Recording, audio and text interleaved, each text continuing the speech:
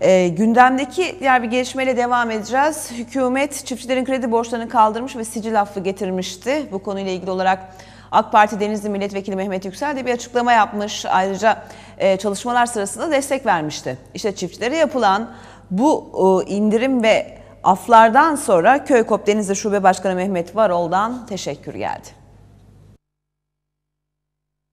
Tarım kredi kooperatifleri tarafından kullandırılan grup kredilerinden doğan kefaletin sona erdirilmesi hakkındaki yasa teklifi meclis başkanlığında kabul edildi. Teklif, kefalet sorumluluğu sona erecek borçlularla aynı senetlerde yer alan ve kendi borcunu ödeyemeyecek duruma düşmüş olan kişiler hakkında bu alacakların tahsilinin hazine tarafından karşılanmasını öngörüyor. Köy Koop Denizli Şube Başkanı Mehmet Varol, devletimizin borçları sil Devletimizin borçları silmesi çiftçilerin yüzünü güldürdüğünü belirterek bu yasanın çıkmasında emeği geçen herkese teşekkür ediyorum diye konuştu. E, Son 10 yıl içerisinde e, Denizli'de 47 tane kooperatifimize bir süt inekçiliği projesi uyguladık.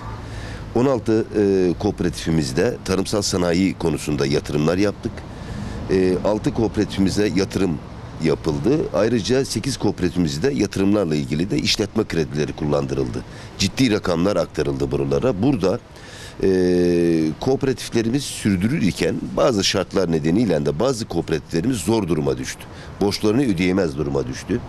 Bu şekilde olan bizim 8 kooperatifimiz vardı. Zor duruma düşüp icra takibiyle birebir olan. E, ve buradaki ortak sayımızda e, bayağı bir ortak sayımızı ilgilendiriyordu. Hatta ortakların mütesessil kefilleri vardı birbirlerine onları ilgilendiriyordu. Bu icra takipleri bayağı başımızı ağrıtıyordu bizim.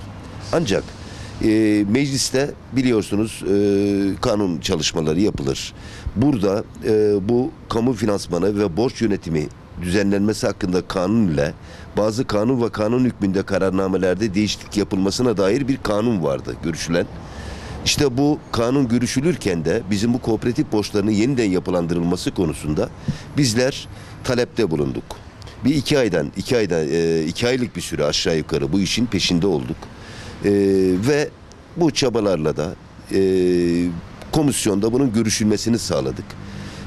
Ve komisyon özellikle de olumlu baktı bu çalışmalarımıza, desteklediler ve bizim kooperatiflerimizin de e, borçlarının yapılandırılması sağlanılmış oldu. Ben özellikle burada e, bize katkı veren başta bakanlığımız, genel müdürlüğümüz, genel müdür yardımcılarımız, arkasından Tarım Bakanlığımıza, arkasından bu konuya emek vermiş komisyon üyesi tüm milletvekillerimize özellikle teşekkür ediyorum. Şimdi e, bu çıkan kanun ile yalnızca birkaç kişi yararlanmadı bundan. Türkiye genelinde 443 kooperatifimiz vardı bu konuda sıkıntısı olan. Ve e, 11.020 ortaktı buradan sıkıntıya uğrayan ve 11.020 ortağında mütesessil kefillikleri vardı.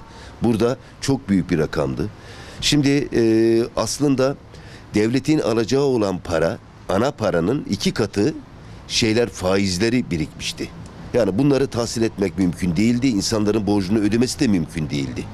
Bu anlamda katkı verildi ve düzenlenildi. Denizli genelinde aşağı yukarı bizim kooperatiflerimizin e, yaklaşık olarak e, 7 trilyon civarında bir borcu vardı. 7 trilyonu buluyordu bu borç toplam şeyleriyle beraber. Bu borçları ana paralara düşürüldü.